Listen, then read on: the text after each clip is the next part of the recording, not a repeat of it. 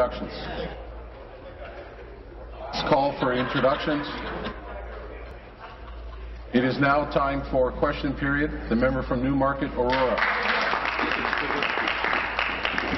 To the Minister of Health. The Speaker, yesterday the entire Liberal caucus gave Chris Mazza a standing ovation in his response in response to the Premier's endorsement of his right to practice emergency medicine at Thunder Bay Hospital. Speaker, here's what a medical doctor practicing in Fort Frances had to say in an email in response to that endorsement by the Premier yesterday. I quote, I hope he meets a patient and or a family that was harmed by the performance of Ornge. He may finally get a realistic feel for how destructive and incompetent he was. End of quote. Speaker, this minister fired Chris Mazza for that incompetence. She called him a liar and is suing him to recover health care funds that he siphoned into his own pocket. But today he's back on the ministry's payroll and practicing emergency medicine. What evidence does the minister have that Chris Mazza has recovered from Question. his mental breakdown, his incompetency, and his disrespect for our health care system? Thank you. Stop the. Be seated, please. Before we continue,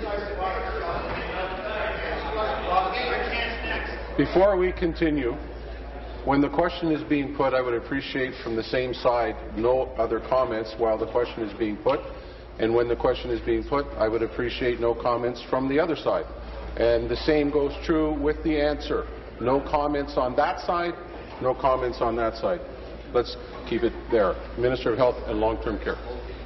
Here, the member opposite has a remarkable history of twisting what actually happened, Speaker.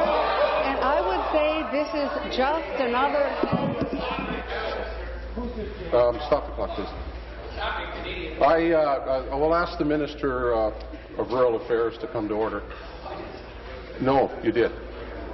And uh, I'm also going to ask the Minister to be very cautious of what uh, her verbiage is. I am loath to think that she would uh, assume that any kind of language that's unparliamentary will be used. I caution. Speaker, you're making it difficult for me, but what I will say is the member opposite has a remarkable history of not getting his facts right. Okay. So, and this is just one more example, Speaker. Yesterday, he's quite right. The member of the Liberal caucus did give the Premier a standing ovation. The members of the Liberal caucus gave the Premier a standing ovation because she talked about the importance of due process. Hear, hear. And that is exactly the principle, Speaker, that the Premier talked about, that we endorse on this side of the House, Speaker. There is a process. We respect that process. Thank you. Supplementary. Speaker, the principle I want to speak to is the principle of doing the right thing because it's the right thing to do. No one is asking the minister or the premier to interfere with accreditation. We are simply asking her to do the responsible thing. The minister knows that this Chris Mazza refused to appear at a parliamentary committee claiming Minister of Education, come to order. She knows that she called him a liar. She knows that she is suing him to recover precious health care dollars that he siphoned into his own pocket. Has the minister asked a, for a report from the College of Physicians and Surgeons?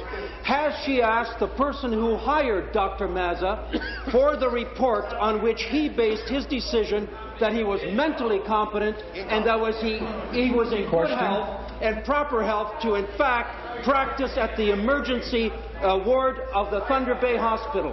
What evidence Thank does you. she have to allow this man to... Thank you. Minister of Health. Well, um, uh, Speaker, in fact, the member opposite is asking that I interfere with due process, Speaker, and I will not do that. The College of Physicians and Surgeons is the authority, should be the authority, and I respect the authority of the College of Physicians and Surgeons to determine who is fit to practice in the province of Ontario. I will not interfere with that, no matter how many times the member opposite asks me to. Hear, hear. Thank you. Sup- Final supplementary. Speaker, it goes back to April uh, of uh, 2011, when we first raised questions about Dr. Mazza and Ornge in this House. She told us at that time that she has confidence in the steady hand and the very confidence of the Board of Directors. And as the minister pleaded at that time, she has no authority to intervene, and so under her watch, multi-millions of dollars were wasted, patients and frontline staff were put at risk. Ten months later, criminal investigation. Ten months later, she fired him. Ten months later, she called him a liar. Speaker, the Minister and the Premier and her caucus may consider the defense of Dr. Mazza worthy of a standing ovation. We happen to feel it's a disgrace and an abdication of responsibility. Thank you. Be seated, please. Be seated, please. Thank you. The member from Stormont, come to order. Minister? Uh, Speaker, I've taken full responsibility for getting Ornge back on track, and the member opposite knows that, Speaker. Uh, Ornge is now well into a new chapter. It has new leadership, Speaker. It has a new volunteer board of directors that is delivering results for the patients of this province, Speaker. Uh, they, they measure their, uh, how well they're doing, Speaker, and I'm sure the member opposite would like to know how they're doing. Uh, uh, Ontario pi- uh, pilots, the most recent report on uh, Ornge pilots, were available to respond to calls 97% of the time. Ornge aircraft were in service 99% of the time. Ornge paramedics were available to respond 95% of the time. 96% of Ornge's patient transports between health facilities are confirmed within 20 minutes. 90% of Ornge's patient transports from emergency scenes are confirmed within 10 minutes. Speaker, Ornge is back on the right track, and it's about time the member opposite recognized the tremendous progress and Thank work you. of frontline staff at Ornge. Good question, the member